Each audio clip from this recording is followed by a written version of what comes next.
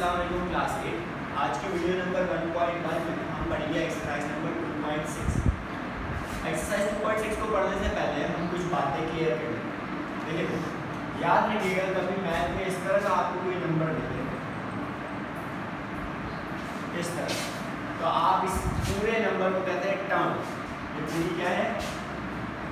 Term इस term में कुछ अलग अलग चीज़ें हैं जिनके नाम आपको पता होने चाहिए। क्योंकि मैं जब समझा रहा हूँ तो मैं उनके नाम ले रहा हूँ। तो आपको पता होना चाहिए मैं किसके बारे में बात जैसे, हमेशा टर्म के अंदर कोई एक नंबर होगा जो कि इस वेरिएबल के, यानी इस अल्फ़ाबेट के बराबर होगा इस नंबर को हम कहते हैं कोफिशिएंट क्या कहते हैं जी? कोफिशिएंट इसके अलावा जो वेरिएबल होगा, यानी जो ए बी सी डी कोई भी लेटर लिखा होगा, इसे हम कहते हैं वेरिएबल और वेरिएबल के ऊपर एक छोटा सा नंबर लिखा होगा अगर नंबर नहीं लिखा हुआ है तो इसका मतलब वन लिखा हुआ है, क्योंकि वन लिखते नहीं ऊपर। तो उस नंबर को हम कहते हैं पावर या इंडेक्स ठीक है इसके अलावा कभी कभी टर्म ऐसी भी होती है जिसमें वेरिएबल नहीं होता जैसे सिंपल अगर मैंने फाइव लिख दिया तो ये भी एक टर्म है। लेकिन फ़र्क ये कि इस बार इस टर्म में सिर्फ़ कोफिशिएंट है, ना वेरिएबल है, ना पावर है। अगर पावर है तो वन एक वन लिखेंगे। ठीक है? इसी तरह अगर मैं यूँ लिख दूँ फाइव की पावर टू तो इसमें सिर्फ़ कोफिशिएंट है और उसकी पावर टू है। ये बात आपको समझ आनी चाहिए। अब इसके कुछ रूल्स हैं। रूल्स ये है कि कभी भी दो टर्म्स एक जैसी जैसे देखिए एक टर्म हो गई फाइव दूसरी टर्म हो गई फाइव और इन दोनों के बीच साइन हो मल्टीप्लाई तो इन दोनों की जो पावर्स होंगी वो ऐड हो अभी अगर पावर नहीं है तो क्या है? वन वन है। तो इन दोनों पावर को ऐड कर लेंगे जैसे फाइव की पावर टू इसको वापस जरा समझते हैं। फ़र्स्ट करें फाइव की जगह कोई और नंबर लिखा हुआ है पी लिखा हुआ इधर भी पी लिखा हुआ है, इधर भी पी लिखा हुआ है। इसकी पावर लिखी हुई थ्री इसकी पावर लिखी हुई टू तो रूल क्या है? अगर ये बेस सेम हो, ये जो पावर होंगी, ये ऐड हो जाएँगी। यानी पी की पावर थ्री प्लस टू ये आपने बेसिक मैथ में पढ़ा सिक्स में पढ़ा सेवन में पढ़ा मैं आपको एक बार रिवाइज कर रहा हूँ ठीक है तो ये कुछ रूल का दूसरी बात ये याद रखनी है कि अगर कभी फ्रैक्शंस में पावर है, जैसे फ़र्स्ट करें लिखा हुआ है फाइव की पावर थ्री नीचे लिखा हुआ है फाइव की पावर टू अब आप चाहते हैं सर ये बेसिस सेम है, लेकिन मैं ऐड सब्सट्रैक्ट नहीं कर पा रहा, क्योंकि ये तो डिवाइड हो रहा है, आपने तो रूल मल्टीप्लाई के लिए बताया। तो आप इस तरह भी कर सकते हैं कि जो फाइव की पावर टू नीचे लिखा हुआ है ना, आप इसे ऊपर ले।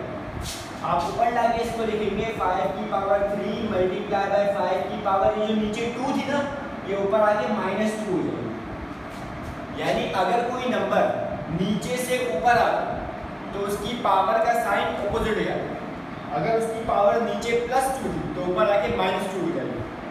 अगर उसकी पावर नीचे माइनस टू थी तो ऊपर आके प्लस टू हो जाएगी। साइन अपोजिट करती है ये बात आपको याद रखनी करता हूँ, आपको इन चीज़ों से समझ आया। अब हम आगे बात करते हैं क्वेश्चन की, जो आपके 2.6 में क्वेश्चन आ 2.6 में पहला क्वेश्चन आपको दिया है कि find the radicand and index कि बहुत सारे क्वेश्चन लिख के दिए और कहते हैं, बताएँ इसमें से रेडिकेट कौन सा इंडेक्स कौन सा। सिंपल सी पहचान है, ये इसके अंदर स्क्वायर रूट के अंदर जो नंबर होगा, वो रेडिकेट होगा। जो भी लिखा हो, भले बहुत सारे नंबर लिखे हो आपको पूरे नंबर लिख देंगे बराबर का रेडिकेट लिख देंगे, ये हो गया रेडिकल और स्क्वायर रूट के अलावा जो इधर नंबर लिखा हुआ है, छोटा सा टू लिखा हुआ है फोर लिखा है फाइव लिखा हुआ है, वो कहलाएगा इंडेक्स ठीक है अब इसके अलावा कुछ और क्वेश्चन है इसमें? कुछ तो इस तरह के क्वेश्चन मिलेंगे, जिसमें वो कह रहे हैं, बस रेडिकल और इंडेक्स बता कुछ ऐसे क्वेश्चन है जिसमें वो कह रहे हैं सिंप्लीफाई करो। सिंप्लीफाई करने मतलब कि सॉल्व करो। सॉल्व कैसे करेंगे जी?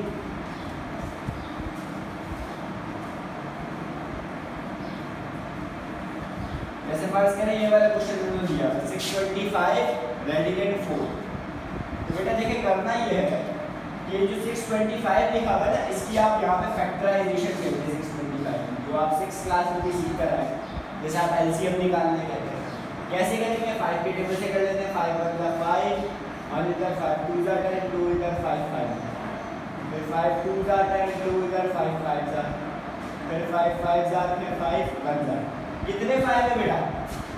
एक, दो, तीन, चार। चार फाइव में तो आप लिखेंगे फाइव की पावर फोर और ये जो रेडिकेंट है ना फोर इसको हम ऐसे लिख देते हैं। Multiply by one upon four अगर यहाँ रेडिकेंट थ्री लिखा होता तो हम लिखते हैं multiply by one upon three अगर यहाँ कुछ नहीं लिखा होता तो लिखते हैं multiply by one upon two क्योंकि खाली का मतलब है यहाँ टू लिखा हुआ ठीक है जी?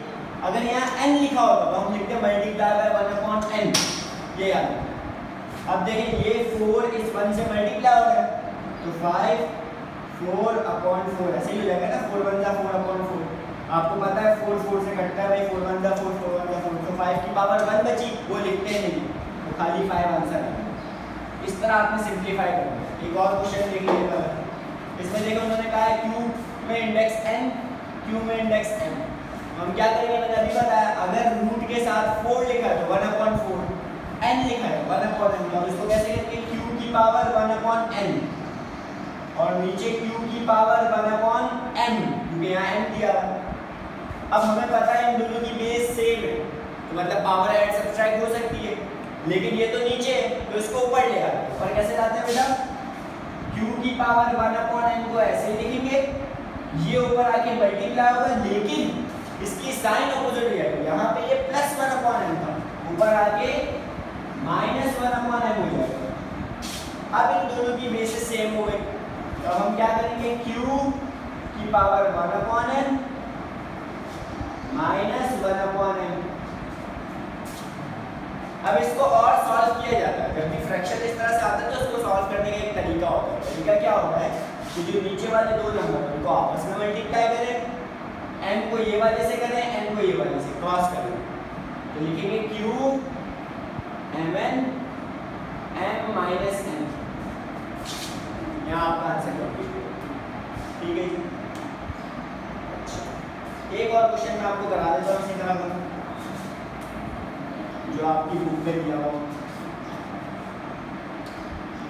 देखिए, ये सबसे लंबा, ये सबसे बड़ा क्वेश्चन मुझे दिख रहा है ये मैं आपको करा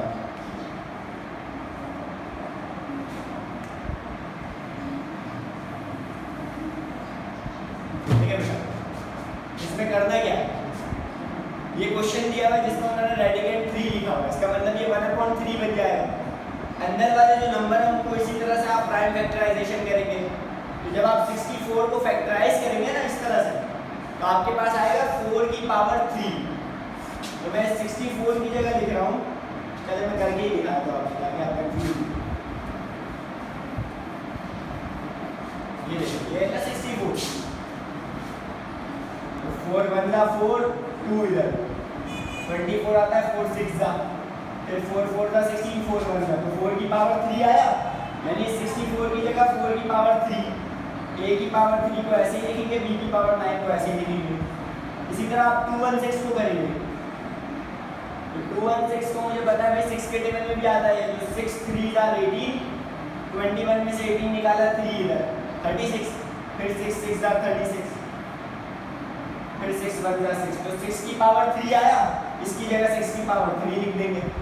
C की पावर 6 d की पावर 18 मैंने आपको अभी बताया, यहाँ जो थ्री लिखा होगा वो वन अपॉन थ्री बन जाएगा।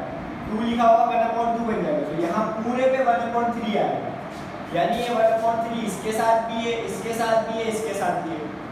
ये थ्री इन सबसे डिवाइड हो रहा है। जैसे हमने नीचे किया था फोर से फोर को डिवाइड किया था। तो देखिए थ्री वन जा थ्री थ्री वन जा थ्री थ्री वन जा थ्री थ्री थ्री जा थ्री यही थ्री इससे भी डिवाइड हो रहा है।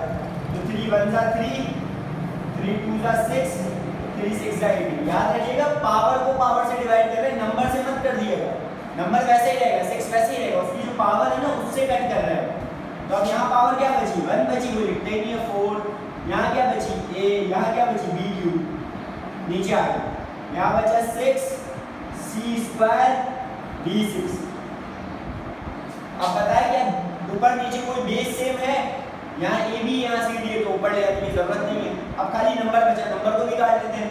टू टू जा फोर टू थ्री जा सिक्स नंबर्स को आपस में काट सकते हैं नंबर को पावर से नहीं काट सकते तो आंसर आखिर में आपका जो फाइनल हुआ है two upon three a b q c square d six उम्मीद करता हूँ समझ आई तो इसी तरह टू पॉइंट सिक्स के आप रिमेनिंग क्वेश्चन